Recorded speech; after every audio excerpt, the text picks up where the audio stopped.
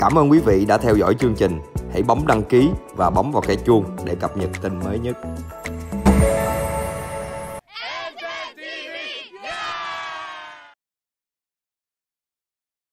Kim Vũ xin kính chào quý vị đang trên kênh NMTV. Hôm nay ngày 11 tháng 12 năm 2020, gồm các bản tin sau đây xin mời quý vị cùng theo dõi. Mỹ đưa máy bay qua vùng nhận diện phòng không do Trung Quốc tự công nhận. Trong hành trình bay từ Hàn Quốc qua eo biển Đài Loan, chiếc máy bay do thám Lockheed U-2A của Mỹ qua vùng nhận dạng phòng không do Trung Quốc đơn phương công bố giữa lúc liên hệ hai bên căng thẳng sau các đòn trả đũa ngoại giao. Trung Quốc hôm qua đã trả đũa ngoại giao việc Mỹ trừng phạt 14 quan chức của Bắc Kinh bằng việc quỹ quy chế miễn thị thực cho các nhà ngoại giao Mỹ thăm Hồng Kông, Macau. Hãng tin Sputnik và tờ Newsweek dẫn nguồn từ tổ chức sáng kiến tình hình chiến lược Biển Đông, viết tắt Earthsea Spy cho biết, chiếc máy bay Mỹ đi qua vùng nhận diện phòng không do Trung Quốc đơn phương tuyên bố ở biển Hoa Đông. Chiếc máy bay sau đó quay đầu tại điểm cách tỉnh Phúc Kiến của Trung Quốc 51 hải lý và cách Đài Loan 70 hải lý. Trong khi đó, hãng tin UPI dẫn thông tin từ tổ chức theo dõi hàng không No Consight tại Hàn Quốc cho biết chiếc Lockheed xuất phát từ căn cứ không quân Ocean của Hàn Quốc hướng về phía Đài Loan sáng ngày 10 tháng 12. Năm tiếng sau đó, chiếc máy bay được xác định đã trở lại khu vực Hoàng Hải ở phía tây bán đảo Triều Tiên. Theo RC Spy, đây là chuyến bay do thám áp sát eo biển Đài Loan nhất mà một chiếc máy bay của Mỹ từng thực hiện. Hồi tháng trước, tổ chức này cho biết Mỹ đã tăng gần gấp đôi số chuyến bay do thám gần Trung Quốc kể từ năm 2009, trung bình 1.500 chuyến bay mỗi năm ở khu vực Biển Đông. Tổ chức này cũng nói Washington ngụy trang máy bay do thám thành máy bay dân sự. Vụ việc diễn ra trong bối cảnh liên hệ giữa Mỹ và Trung Quốc căng thẳng trên nhiều mặt. Mỹ ngày 7 tháng 12 thông báo trừng phạt tài chính và cấm đi lại với 14 quan chức Ủy ban Thường vụ Quốc hội Trung Quốc vì các hoạt động của họ liên quan đặc khu hành chính Hồng Kông, gồm vai trò trong vụ bãi nhiệm các nghị sĩ đối lập Hồng Kông vào tháng trước. Đáp lại, Bộ Ngoại giao Trung Quốc ngày 10 tháng 12 tuyên bố sẽ rút lại quy chế miễn thị thực đối với những người có hộ chiếu ngoại giao Mỹ đến Hồng Kông, Macau, đồng thời trừng phạt một số quan chức, thành viên các tổ chức ở Mỹ liên quan đến vấn đề Hồng Kông. Xin mời quý vị theo dõi bản tin tiếp theo. Đại sứ quán Trung Quốc nói bị hack khi tài khoản Twitter chia sẻ việc ông Trump tố gian lận bầu cử. Sau khi dân mạng phát hiện tài khoản Twitter của Đại sứ quán Trung Quốc tại Mỹ chia sẻ bài đăng cáo buộc gian lận bầu cử của ông Trump, họ lên tiếng giải thích tài khoản đã bị hack. Ngày 10 tháng 12, Tổng thống Mỹ Donald Trump viết trên Twitter, nếu ai đó gian lận trong cuộc bầu cử này, điều mà các thành viên đảng Dân Chủ đã làm, thì tại sao không lật ngược cuộc bầu cử ngay lập tức? Làm sao một quốc gia có thể được vận hành như thế này?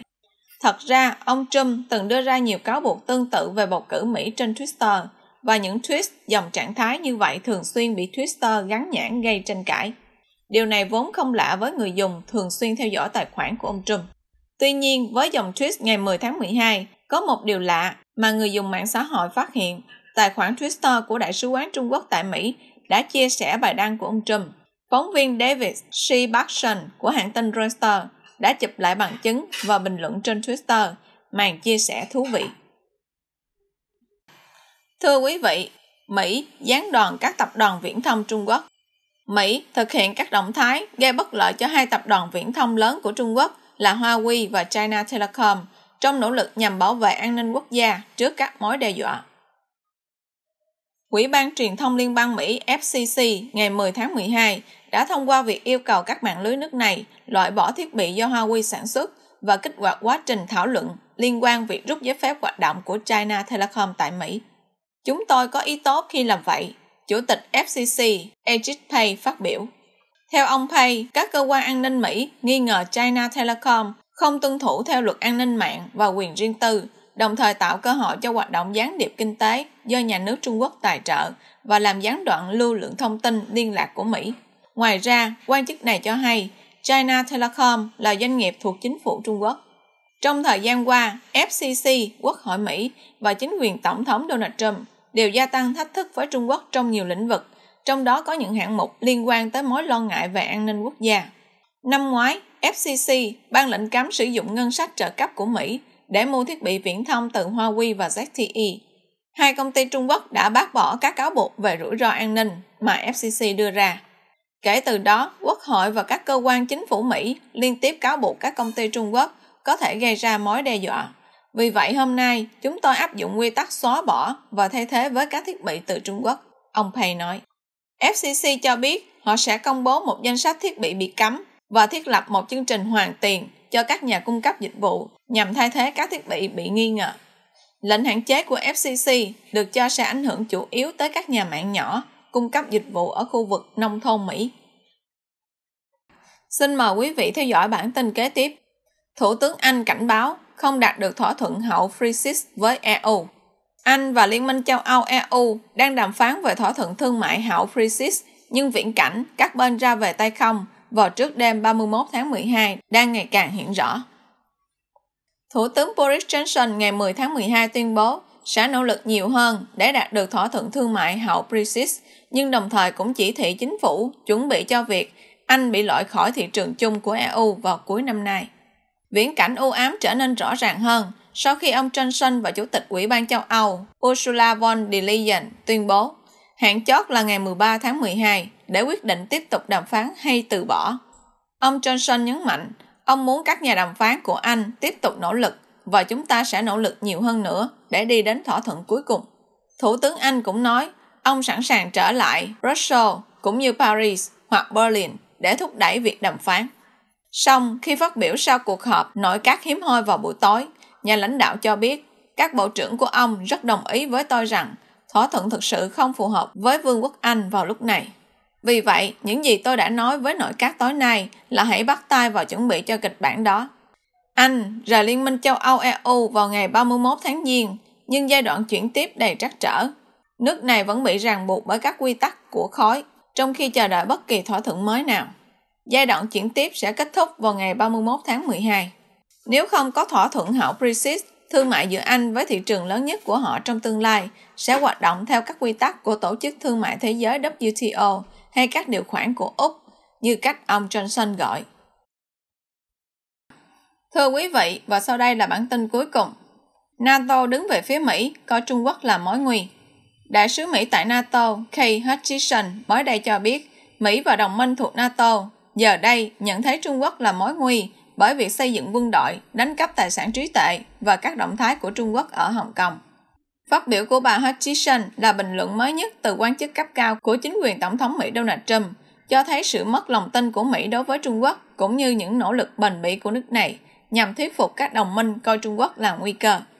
Bà Hutchison nói với South China Morning Post, Tôi nghĩ chúng ta khá chậm trễ trong việc đánh giá Trung Quốc là một nguy cơ. Phát biểu tại sự kiện trực tuyến do Viện Nghiên cứu Chiến lược Quốc tế ISS tổ chức, bà Hutchison nói rằng thế giới đã cố gắng cho Bắc Kinh cơ hội tham gia dựa trên cơ sở tôn trọng, trật tự dựa trên quy tắc, song thực tế cho thấy khó lòng tin tưởng họ hành xử công bằng. Bình luận của bà tiếp sau những nhận xét tương tự vào ngày 7 tháng 12 của Tổng thư ký NATO Jens Stoltenberg. Ông Jens Stoltenberg nhấn mạnh NATO sẵn sàng duy trì phối hợp với Trung Quốc trên cơ sở tôn trọng trật tự quốc tế dựa trên các quy tắc. Tổng thư ký NATO nói thêm rằng sự trỗi dậy của Trung Quốc thực sự đang thay đổi môi trường an ninh mà chúng ta phải đối mặt. Theo báo cáo NATO năm 2030 công bố hồi tuần trước, phạm vi quyền lực và ảnh hưởng của Trung Quốc đang đặt ra những thách thức thực sự, đặc biệt là lộ trình để mở rộng tham vọng về lãnh thổ. Chuyên gia Carissa tại Trung tâm An ninh Mỹ CNAS cho biết, Bắc Kinh đã cố gắng ủng hộ các thành viên NATO có hướng phát triển hòa hợp với mình, chẳng hạn như Hungary và Thổ Nhĩ Kỳ.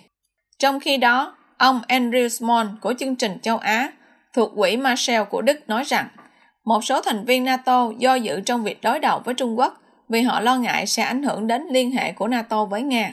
Ông Andrew nhận định NATO thật sự tụt lại phía sau trong phân tích cơ bản về các rủi ro liên quan đến Trung Quốc, điều lẽ ra phải được NATO lưu ý ngay từ khi Mỹ nêu vấn đề.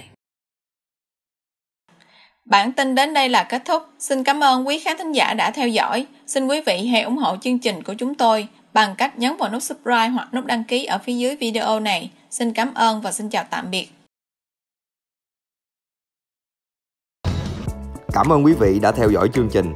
Hãy bấm đăng ký và bấm vào cái chuông để cập nhật tin mới nhất.